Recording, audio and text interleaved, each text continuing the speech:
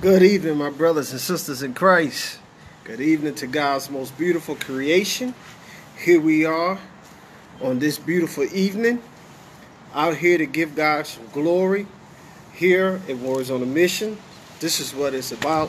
It's not about any kind of publicity or anything. It's all about giving God glory and sending a word out from God to his people. And so this evening, God has given us a word. Um, and you may see me with my sunglasses on. It's because of where I'm sitting. I'm directly into the sun. It's not to try to make myself look cool in any way because it's not about me. But if I was to take my glasses off, I would be squinting very, very difficultly. So anyway, uh, again, just to give a little update on that. But God has given us a word this evening, and it is a powerful word, and I thank God for it because oftentimes we need these things to to to remind us of what God is doing, what He's allowed us to have. You know, this week we're celebrating a very important week um, from Palm Sunday to Resurrection Sunday. This week alone, many people pay attention to it, and we know that God, you know, that Jesus was riding into, riding down the road, uh, riding a donkey. Excuse me, not riding in the road, but riding a donkey into, you know, what I must say would be uh, riding into a place to where you and I would finally get a chance to get back to Him. You know, if you, if, if you know the story of it all, which I'm pretty sure most of you do, this is the week that is celebrated to Jesus was riding in and getting to go to the cross. And on the cross, which, you know, we celebrated as him going in on Friday evening. And he passed on the cross uh, after piercing him. I mean, they, they whipped him and they did all kinds of things to him. And, you know, much of the studies that we've been covering the last few weeks it's really been celebrated around this time frame. And like I said, this Friday would be the day celebrated that Jesus would go to the cross and and die for us. And but Sunday morning was will be when he is risen from the dead. God rose him up, and many things took place from the point of time where he took his last breath until the day Sunday morning that is celebrated of him being risen from the dead. And so, in that time frame was when all keys was taken from Satan and delivered to Jesus Christ. And so through this period of time that we're about to celebrate is when we were given the authority on that Sunday morning. It was completed that we were given the authority to be back in the presence of God, to be able to, for Jesus being the bridge that takes us from hell back into the presence of God. And so this is a very significant week that we are celebrating. And God has given us something that through this week that we celebrate, that we now have the gift to be forgiven of all of our sins. And so when you look at the title that God gave me, it's the power of forgiveness. And it's that's a beautiful thing because without this thing, you and I will be hell bound, no chance. And no chance of by being delivered. No chance, you know, because if and I, not to give you not to go too much far back, but you know, before in the old covenant, we had to go with the lamb or ram and all these other things that we had to present on a regular basis for our for forgiveness of sins. Well, it had to be done on a regular basis because uh, those things, the blood of those things, did not really complete the whole uh, scenario of forgiveness. It was just the replica of what was to come. And so, this new covenant of Jesus Christ, which we're celebrating this week, he paid the final price. He only had to do it one time. And his perfection, uh, uh, living with no sin, gave us the ability to be able to be with Christ. I mean, to be with the, be with the Lord and um, be with uh, our Father. And so, I thank God for this week that we celebrate from, like I said, from Palm Sunday to Resurrection Sunday. But there's something that God gave us this this this evening that I really must take my time and allow God to do what He needs to do. And if you see the title once again, it says the power of forgiveness. And if you follow me to the 32nd division of Psalms, we're going to look at some things that God has pointed out to me this evening that will allow us for one, give God glory, praise His holy name, and be thankful that you and I are in a place where we can ask for forgiveness and it is done and over with. Um, if we truly repent and walk away, it's it's like we've never done it before. It's like we never sinned. And so um, we're going to go into prayer, and then we're going to go into the reading of the God's Word, verses 1 through 7. And God's will, we'll be able to go back into it, and God will reveal some things that's really going to bless us on the night, that's going to help us understand why this week is so significant, but understanding also why Jesus is so significant, why God's love is so important, and the ability to walk in God's love. We're going to be looking at all of these things on tonight. And so let's go into prayer. Heavenly Father, I thank you, God, for your word on this evening. I thank you, God, for your presence. God, I've asked and I'm asking, and just before the masses to show, God, I need you to present this word. I need for you to preach, teach whatever needs to be done. God, send forth a deliverance upon us that will last forever, God. Help us to receive it. Russ, help us to walk in it. And God, help us to think on it. All of these things that you've already given us, God, help us to receive it, understand it, and walk in it. And I thank you, God, for the tools you've given us. I thank you, God, for the wisdom you've poured upon us. I thank you, God, for your knowledge. I thank you, God, for your presence. I thank you for every single blessing, God. I thank you for all that you're doing, things that we don't even pay attention to. The fresh air, the beautiful sunlight, the rain, all of these things, God. I thank you for breath. Now, Father, speak in such a way that it reaches and teaches every one of us, God. Everyone, for those that are saved, reach us. For those that aren't saved, reach them. And we thank you for it, God. For it is in Jesus' name we pray. Amen. All right, let's go into Psalms, the 30, uh, the, the 32nd division of Psalms, verses 1 through 7. And it goes as follows. Verse 1 says, Blessed is he whose transgression is forgiven, whose sin is covered. Verse 2, Blessed is the man to whom the Lord does not impute iniquity, in whose spirit there is no deceit. Verse 3, When I kept silent, my bones grew old through my groaning all day long. Verse 4 For day and night your hand was heavy upon me. My futility was turned into the drought of summer. All right, verse 5 I acknowledged my sin to you in my iniquity, and I have not hidden. I said, I will confess my transgressions to the Lord, and you forgave the iniquity of my sin. For this cause, everyone who is godly should pray to you in a time where you may be found. Surely, in a flood of great waters, they shall not come near him. Verse 7 You are my hiding place. You shall preserve me from trouble. You shall, shall surround me with songs of deliverance. All right, let's go back into the verse 1. All right, going back into verse 1, we look at the fact that, here we go. It says, Blessed is he whose transgressions is forgiven, whose sin is covered. Now, look, what this verse is saying, which reaches to every one of us, actually, it reaches to all creation. But for those that have already accepted and understand what it means to be forgiven, to first you got to understand that, that you we walk in sin. For those that have not accepted Jesus Christ, everything we do is in sin. Okay? Because the truth of the matter is, our natural man, our natural uh, uh, thoughts, our natural habits, they're sinful. Okay? Because without Christ, without the Holy Spirit, the only thing we can follow is what we feel. And most, the majority of the time, our feelings is supported by fleshly behavior. Uh, you make me mad now, I want to act out and make you regret it. Uh, if I feel like I need something and you got it, we don't have anything. This is just examples, y'all. If if you got something, I feel like I want it. Uh, as as a person that is not saved without the Holy Spirit, I don't know anything other than to take it or covet it. Meaning, I wish for it, I want it. You shouldn't have it. Let me have it. All of these things are nature of sin. And so you have to understand without the, Jesus Christ being on this side, without the Holy Spirit being on the inside, there is no other way to function. Been there, done that. And so that's why I can relate so easily because I can remember. And the fact is, without a total cleansing of the Holy Spirit, you're still going to have this residue. Meaning, I'm still going to have thoughts.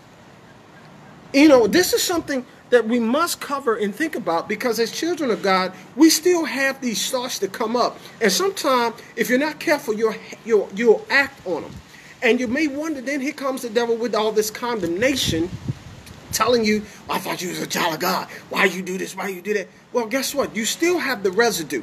And so you are making a conscious choice. You have to make a conscious choice on whether to walk it out godly, follow the Holy Spirit, or follow your flesh. So for those that have accepted Christ, we have something to counteract towards the fleshly thoughts.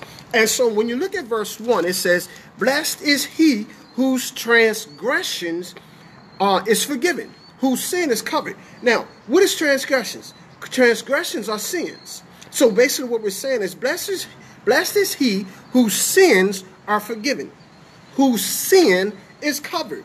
And so when you're thinking about that, whose sin, whose sin has been forgiven? Those that have accepted Jesus Christ.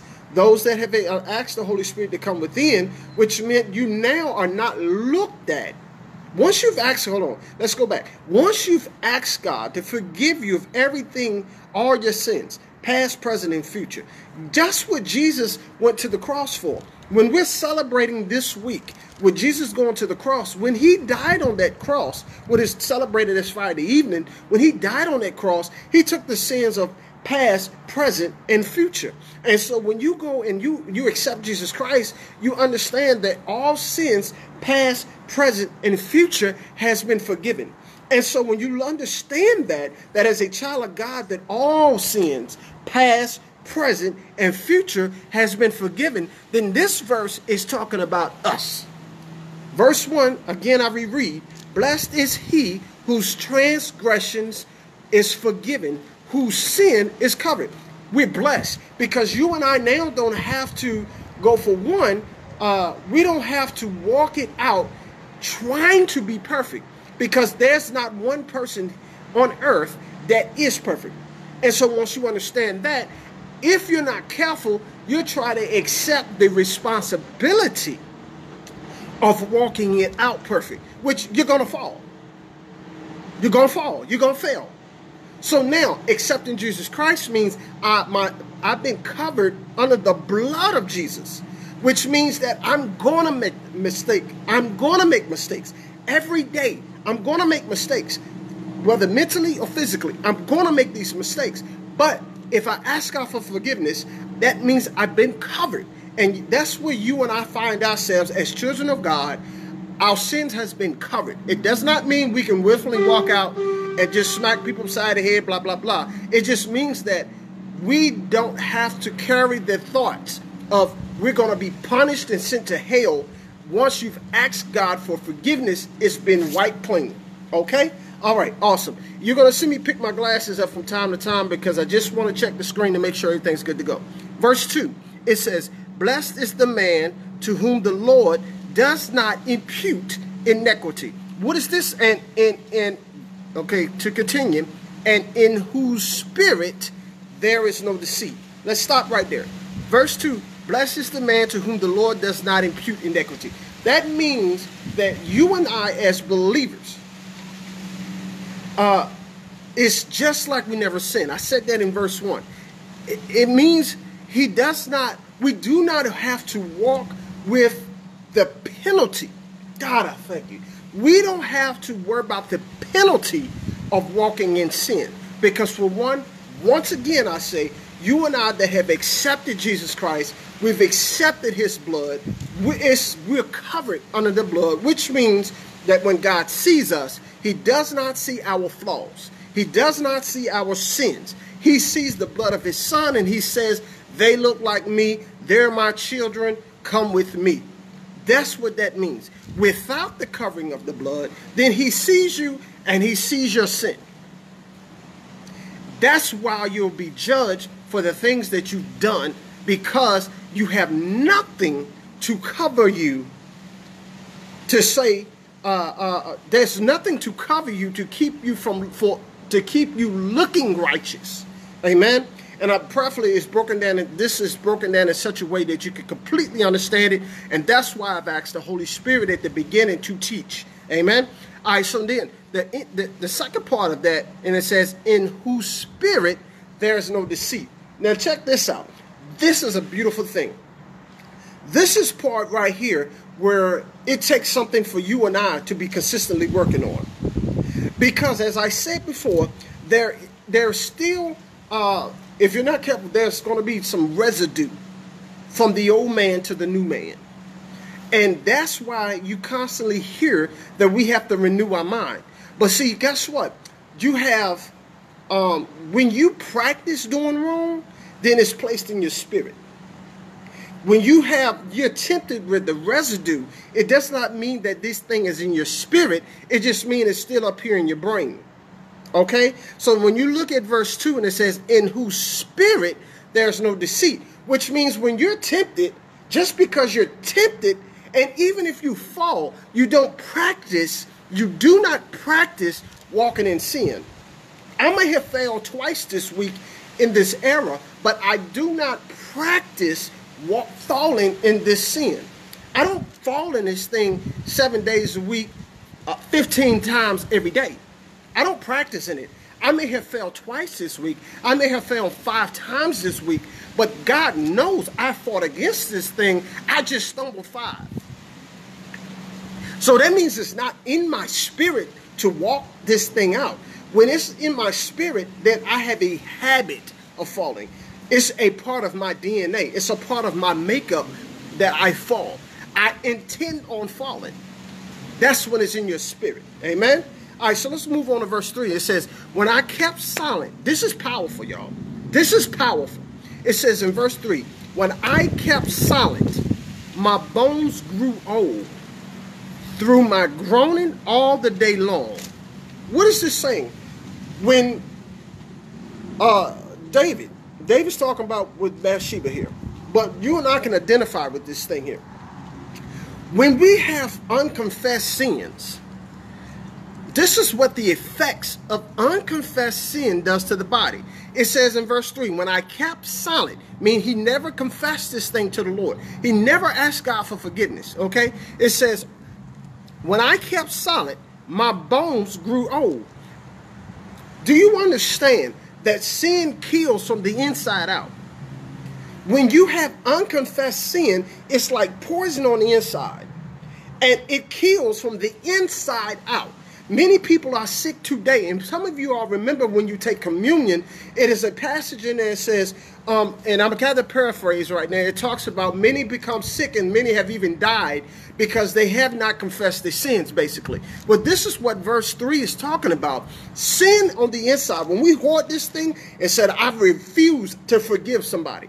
I refuse to let this thing go. I love this pleasure. I cannot let it go. It's a sickness on the inside.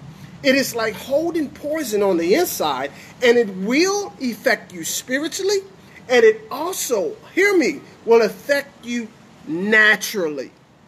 And so many people become sick from the inside because there is unconfessed sin. Look at verse 3. If you don't believe me, read it and ask the Holy Spirit to break it down to you. It says, When I kept silent, my bones grew old. When you think about old bones, you think about fragile. When you think about old bones, you think about sickness. And this all came from hoarding sin. It all came from unconfessed sin. Okay? But it says now, for verse 4. Oh, wait a minute. Verse 3, the remaining of verse 3 says, through my groaning all the day long. So that means there were pains that came from within the body for having unconfessed sin.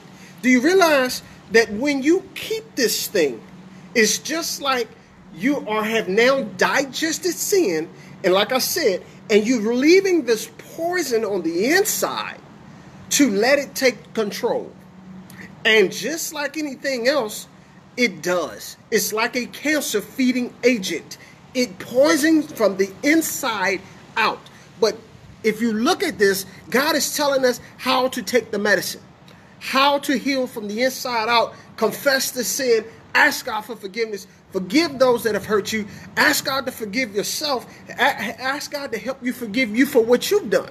Because guess what? As a child of God, God is forgiving you. If you've asked Him for forgiveness, this is something powerful. Don't miss this. If you've asked God to forgive you for something you've done wrong, He has forgiven you. For a child of God, your sins have been forgiven, past, present, and future. So you do not have to hoard the guilt that came along with the thought of that sin. Who the Son sets free is free indeed, which means that that sin has no weight anymore. If you've accepted Jesus Christ and you believe you're saved, that sin carries absolutely no weight in your life. What you're hearing is the devil trying to get you to accept the weight. When you hear, but remember when, when you're hearing, well, you're supposed to be a child of God and you're supposed to be this, that's not from God. That's from the devil trying to get you to accept that weight that does not belong to you. He's trying to get you accepted again so that you will suck in the poison once again, the weight of unforgiveness, and then carry it so he, he, can kill you. Because come for to, what is it? Kill, steal, and destroy. So if you will accept it, then he can get all three done. Kill, steal, and destroy. But God has given us the ability to, he's given us the tools to walk in forgiveness. Amen? All right, so now, when we look at verse 4, it says, For day and night your hand was heavy upon me. My futility was turned into the drought of summer. So now, verse 4 is saying, the conviction. God, listen, don't think that you're ever too far from God. Don't think that you're ever too far from God that God can't reach you. When you hear God speaking, He's trying to get you, for one, to get the poison out. He wants for you to live and not die. You remember that? He didn't come, and, and, and as we're celebrating this week, he did not send his son here and to, to walk 33 years out here on earth to have three and a half years of ministry to go through the love, the highs, and the lows of the people that praised him one day and yell crucify him the next day. He didn't do that just so that you and I could walk around with the heavy conviction, excuse me, the heavy condemnation and the heavy conviction with no way out. God didn't do that. He did all of this to make sure that you and I could release the sin, you and I could be forgiven for the sin, and make it back in His presence as when, for one, here on earth by asking for forgiveness, but also when we take our last breath. That's what the purpose of Jesus Christ was. Amen. And is. And so when you look at verse 4, it says, For day and night your hand was heavy upon me. David was saying that God was on him day and night trying to get him to ask for forgiveness. Day and night, God was on him trying to get him to ask for forgiveness for sleeping with Bathsheba and getting her husband killed. But God is on us day and night trying to get us to let that thing go. Ask me for forgiveness. If you're struggling in the matter, ask God to help you get through it. Ask Him. Like I said before, God is looking for access. That's all He's looking for. If you give Him access, He'll help you get beyond and get to and, and, and walk through the issues. He wants to help guide you through the issues, but you gotta give him access. As long as you're walking in pride, say, I got it, I got it, I got it, and then we could be even dumber. I gotta say it that way because that's really what it is.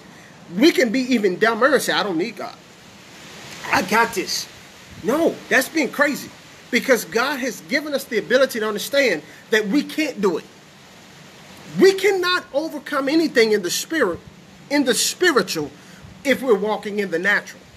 And so to walk and say, I can, I can give myself the pleasure of forgiveness. I can give myself the pleasure of peace without including God. That's foolishness. And so God is, has given us the opportunity by accepting his son and realizing once again who the son is set free is free indeed. And so when we're looking at four, once again it says, For day and night your hand was heavy upon me. My futility was turned into the drought of summer. So now, the drought of summer, you got to think of that being a place of, of no peace. Uh, you got to think of it as being a place of no prosperity. Because the summertime, we need water for vegetation. We need water for life. Okay, um, a good life is when I'm able to walk to the fruit to the tree and get fruit. I'm able to go to the grocery store and get the things that come from the process of life. And now there's vegetation. Now there's healthy food to get. That's futility of life. But now, if, if that, but if I look at the fact of no water, if I look at the, the, the, the, the, non-existence of these things, then that means I have a drought, which means now I don't have the luxuries of having good food. Amen. And so when you look at verse 4 and you see my fertility was turned into the drought of summer, meaning I didn't have it. All that came from him still holding on to the poison of unforgiveness. Amen. Verse 5. It says, check this out. Here comes a complete turn. It says, I acknowledged my sin to you. In my iniquity I have not hidden. I said, I will confess my transgressions to the Lord, and you forgave the iniquity of my sin. He got free. The poison left. How did it happen? What was the medication? Do you understand that the medication that you and I take over the counter and the doctor gives is just once again uh, uh, a replication, it's a replica of what God does in the spirit. God still teaches in parables. And so when we take the antidote off from across the from across the counter, counter, we have to take it multiple, multiple, multiple, multiple times. But when we accept what God has already given us, it frees us. Amen. It frees us up once and for all. And it says, looking at verse 5, I acknowledged my sin. When I acknowledged my sin to God, that emptied me from the poison that I was carrying of unforgiveness. It emptied me from the poison of that sin. It is, I acknowledge my sin to you. In my iniquity, I had not hidden. I didn't try to hide it for God. Let me tell you something. God knows all. There is no place, there is no amount of water so deep that he can't see you. There's no mountain too high. There is nothing that can keep us from, from God seeing us. There is no escape. You can escape man all the time. But there is no way escaping God. So you have to come to the fact that God already knew what we did.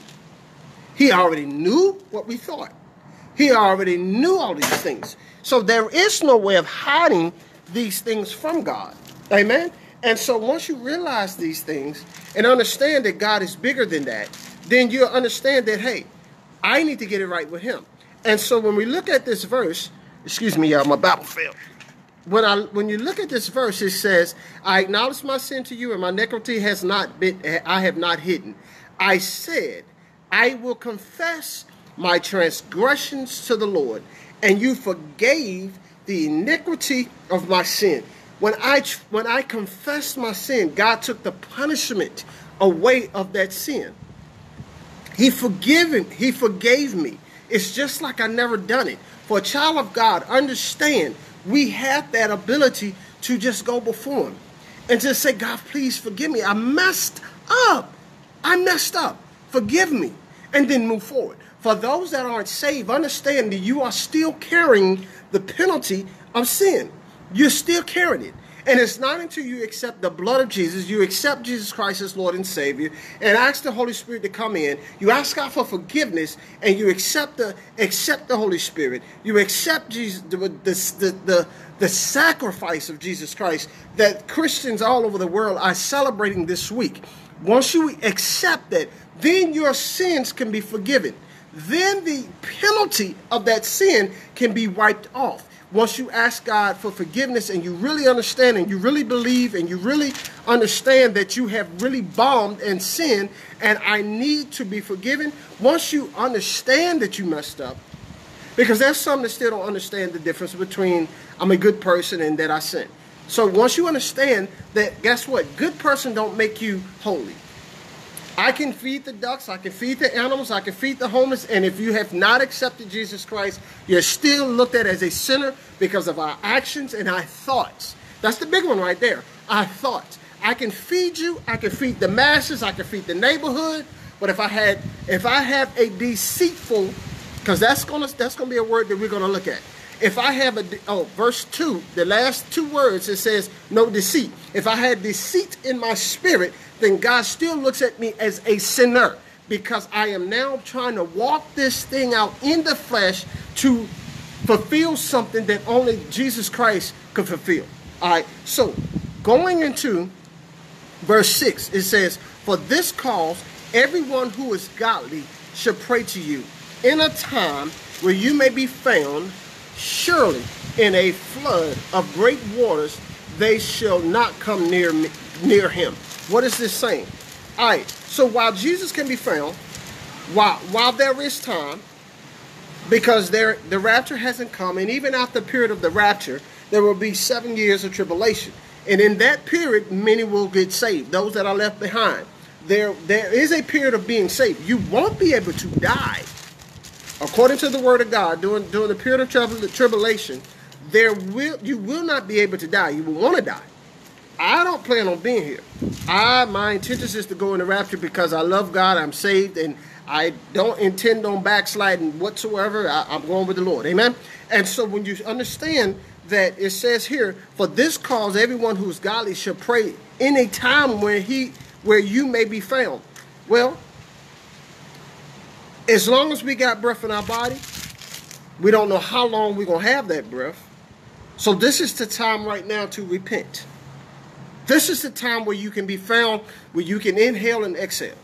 Because after the fact, because we often think that if the rapture ain't came yet, then I'm good. Well, you don't know when our time will come, our personal rapture, when God takes us out of here. We don't know that time. It could be two seconds from now. And so while that, while He can be yet be found, while while you have the breath in your body, while you have the opportunity to confess your sins and accept Jesus Christ, do it. Amen. Because you don't know how long. And why go through hell here and then die and go through go to hell? Amen. Why torment yourself that way? When you can have a piece of joy here and then have joy everlasting once you leave out of here. These are choices that God is not going to force down our throat. But we do, because we're made in his image, we do have the ability to make choices. So it's our choice on what we want to do. Amen? Amen. All right, so now, for verse 6, it says, For this cause everyone who is godly shall pray to you in a time when you may be found. And it says here, Surely in a flood of great waters, they shall come, they shall not come near him. What is that saying?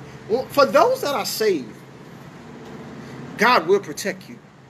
I know, and if you can look at Psalms 91, which is that's one of the most famous quoted books of uh, uh, books in the, the in, well divisions in the book of Psalms, where it talks about ten thousand should fall on the left hand, uh, thousand should fall on the right side, ten should fall, eleven uh, ten thousand fall on the left hand, but nothing should come near near you or come to your dwelling. You find it in the 91st divisions of Psalms. Uh, but we often think about that, but this is kind of like an echo to that, where it says, Surely in a flood of great waters they should not come near him. For those that are saved, I know that we'll see things come our way. I'm gonna have to put them back down. I know that we'll see things happening around us. And yes, there are things that will happen to us as well. But because of Jesus Christ, these things shall not overtake you. The only way the devil has access to overtake you is if you give him that access. Meaning, you begin to speak things of defeat out of your mouth. You begin to speak and give the devil authority to overtake you. But he is, is not a God given authority. He does not have the authority to overtake you. But because God made us in his image, if we speak it out of our mouth and give him access through our words, our sentences, and say something of, of the things that come out of the flesh, meaning things that come out of fear, then we've just given him access to come and overtake you because we gave him the spoken access out of our mouth. But as long as we're walking the authority of Jesus Christ, the devil has no access to overtake us. Go back to the book of Job. He had he had been the devil had been going to and fro looking to looking to whom he could devour. Okay? He could not devour any of the children of God because he had that for one, they had not given him access. And so he had to go to God to get access to to mess with Job. And even when he had to go get access, God said, You can do these things, but you cannot take his life. So he had no access. He had no access to take Job, to take Job's life. But if he that's why he kept trying to get Job to curse God and die. And he used his wife to try to penetrate that sentence into Job to try to give him the uh, to try to release the authority to the devil to now have the authority over Job to take his life. The devil was using Job's wife. That's why she consistently said, "Curse God and die," because his wife was the closest one to him, and so the devil used that wife to try to get Job to give the devil access through speech, but Job never did. And even when he did uh, begin to curse, he, began, he asked God for forgiveness. Okay, so now going back to verse 6, and it says, Surely the flood of great waters, they shall not come near him. God has given us the understanding that the things may come, but you will not be overtaken. Do not walk in fear, but walk in faith, and know these things shall not overtake you. All right? Verse 7. And it says, You are you are my hiding place. You shall preserve me from trouble. You shall surround me with songs of deliverance. As a child of God, these things have been promised to us. God is our refuge. He's our hiding place. Look at verse 9, uh, again, the 91st division of Psalms, where it consistently talks about that. Well, he is our refuge. He's our hiding place. God is our hiding place. Under his wings shall we be protected. As a child of God, the Holy Spirit is on the inside. God knows who's he's, who is his. God the Father, God the Son, God the Holy Ghost. If you got it in you, God knows that's me. That's right there. He looks and say, wait a minute, that's a portion of me in him. He's mine. I'm not going to let nothing happen to him. Amen. I'm not going to let nothing happen to him. And so when you look at verse 7, when it says, You are my hiding place, God, you are my hiding place. You're my refuge. You shall preserve me from trouble. You shall keep me from allowing this thing to completely overtake me. That is your promise. This is not something I got to hope in. This is not something that I got to conjure up. This is your promise, God. And so I must walk and understand that this is your promise and you don't lie. You don't have the ability to lie, God. You don't have the ability to lie. So therefore, you can't tempt me and say, God, uh, oh, that that that only means if you did this, you did that, blah blah. Yeah, if I'm a child of God, then I qualify. If I ask God for forgiveness for the sins of, I qualified. There's no other qualification except be a child of God and ask God for forgiveness when I when I screw up. If I've done those things, that means I qualify for being in His safety. And so when it says, "You shall preserve me from trouble, you shall surround me you shall surround me with the songs of deliverance, which means I should. I'm, I'm in a place where His Spirit dwells upon me. It's like being in a bubble, and inside of that bubble, it's nothing but the glory of God. As children of God, we walk protected by angels. We walk protected by His promises. As a children of God, we should walk and speak the promises, which means we have the Word of God surrounding us wherever we go. And so, oftentimes, you and I need to often remind ourselves that as children of God, we have been protected by the Word of God. We've been protected by the Spirit of God. We're protected by His Spirit on the inside.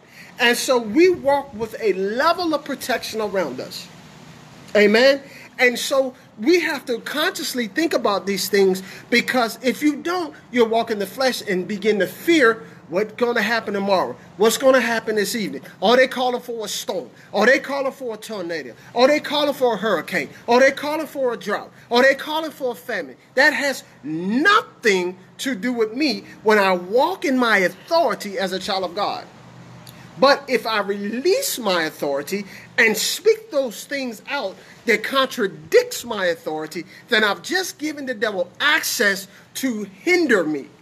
Amen. If you found yourself doing that, ask God for forgiveness and walk out in the authority as a child of God. Amen. Now, hear me. For those that aren't saved, then understand, yes, you're not safe. Okay, paint an other picture. Those things when they when you hear it on the news that ah it's a, a, a great loss of life is probably gonna be yours. Amen.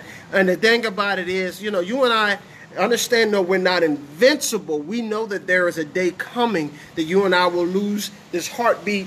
But for us that are children of God, we know where we're going. So it does not matter. Listen here, understand this. Once I realized I had a heartbeat, once I realized that I'm alive, I also realized I must transition. But we, for those that are saved, we understand that our transition is just like walking out of one room, walking into another room, where now I have complete victory. But for those that aren't saved, many, of many, well, the majority fear death, and then you wake up and you walk into a room where there's hell for eternity. But you don't have to have that as your outcome. God has died. He sent Jesus, what we celebrate this week. Jesus went to the cross for all, all mankind, past, present, and future. Not just for the saints of that time frame, but everybody. He went to the cross for everybody. And his desire, God's desire, his blueprint for this death for Jesus Christ and the resurrection of Jesus Christ was for all to be saved. But it only depends upon you. Because he gave those that he created the ability to choose life or death, to choose whether you want to accept Jesus Christ and have eternal life with him, or to choose to walk away from this gift of salvation and spend eternity in hell. Those are the two choices. I know new age teaching that there's you can do this and you can do that, but go back to the word of God. That's no new age teaching. The word of God is not new age teaching. It's not. It's the oldest living transition of, uh, it's the oldest living uh, uh, uh, uh biblical teaching. So understand, New Age, if it don't present the Word of God and written like the Word of God, it's null and void. There is no middle ground. So, but once you accept Jesus Christ and understand, yes, you will have life, eternity. Once you realize, like I said at the beginning, I was I, I, I sinned I, without the blood of Jesus. I'm going to hell for eternity. But with the blood of Jesus, I am promised I am promised, oh man, life eternal with God. Amen. How do I know it's real? That's one of the things that the devil tried to use. Where for those of us that has been walking this thing out, we have prayed about something and God delivered. We have followed the Holy Spirit and the Holy Spirit led us to victory. We have listened to the eternal voice that was much smarter than us because there's three voices talking all the time. You got Satan, which is the flesh. You got the Holy Spirit for those that have accepted Jesus Christ. And then you have your own thoughts. When you hear that voice, that's so much more profound than anything you can conjure up and you follow it and then there's victory on the end of it. Believe me, it's real. That's the Holy Spirit. Amen. And when you understand that, then that lets you know he's not dead. It's real.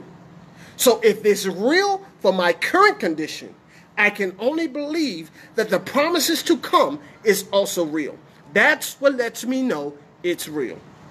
So if you have not made the decision to accept Jesus Christ as Lord and Savior, make a conscious decision right now that I have sinned, I am a sinner, but no longer will I sin. I invite the Holy Spirit on the inside of me. I ask you, God, for forgiveness. I need the Holy Spirit on the inside of me so that I can walk as a brand new creature, as a child of God, so that I can be safe, safe in this life and safe in the life to come. I can be with you. There's many ways that you hear that thing uh, spoken, but that's the most simplest way that, in God's way, that I can break it down.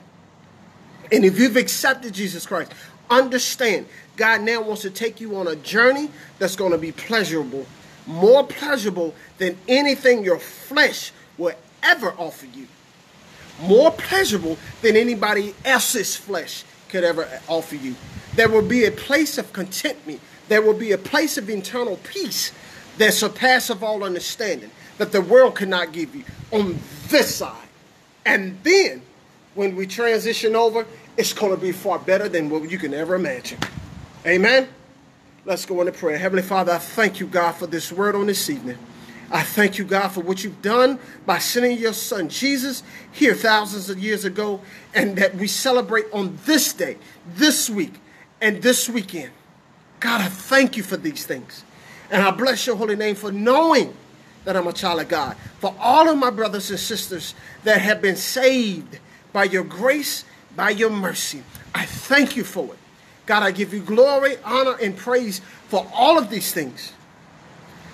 There is not enough speech, there's not enough breath, there's not enough tongue that will be able to glorify you to the way you should be glorified. But all I know is to say, God, I thank you. And I'm gonna do my best in my in your strength to give you a pleasing lifestyle. I can do all things through Christ that strengthens me. So I yield to your spirit so that you can be glorified in my lifestyle. I thank you for it. Here am I. Here we are. Have your way. For it is in Jesus' name we pray.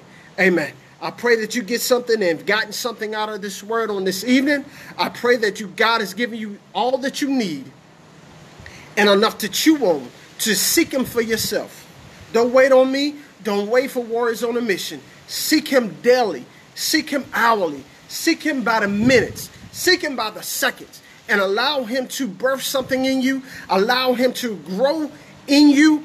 And let him teach you and lead you down to the paths of victory. Amen. He desires for you to be victorious in every aspect of your life, but especially spiritually. Do not leave that out. I love y'all, God's will. I'll see y'all on Sunday. Enjoy this journey with Jesus Christ, with God, and through the Holy Spirit. Enjoy. That's what it's here for. I love y'all, God's will. I'll catch y'all on Sunday. Walk it out. I don't know what part y'all caught last. I had my glasses on, but prayerfully you got everything you need out on it. Continue to seek God, walk it out, and seek Him daily and allow Him to teach you. I love y'all. Have an awesome day.